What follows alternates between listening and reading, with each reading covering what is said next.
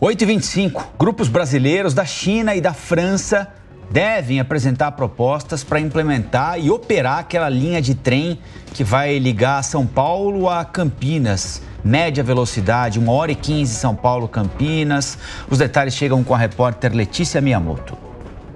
A implementação de uma linha de trem expresso entre as cidades de São Paulo, Jundiaí e Campinas é um dos principais objetivos a partir da concessão pública que vai a leilão nesta quinta-feira.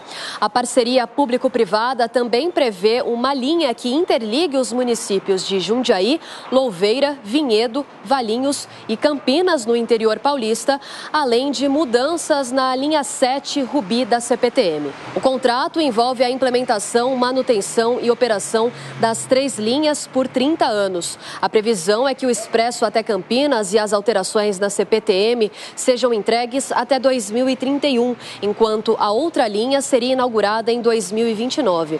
A empresa ou consórcio selecionado no leilão será o que oferecer a menor contraprestação paga pelo Estado, cujo teto é de 8 bilhões e meio de reais. O chamado trem Intercidades tem trajeto com duração estimada de até uma hora hora e 15 minutos entre o terminal Palmeiras Barra Funda, na zona oeste paulistana, e Campinas, comparada em Jundiaí.